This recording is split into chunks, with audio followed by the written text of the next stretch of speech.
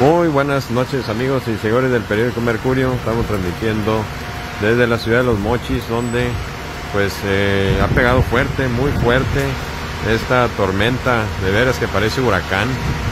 Categoría 2 o 3 yo creo de lo fuerte que ha tomado.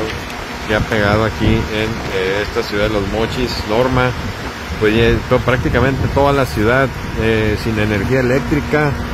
También la red Telcel, la red celular pues eh, se cayó, ya tiene varias horas, de la una y media aproximadamente, que se cayó. Hay varias colonias, sectores sin luz, varios sectores inundados.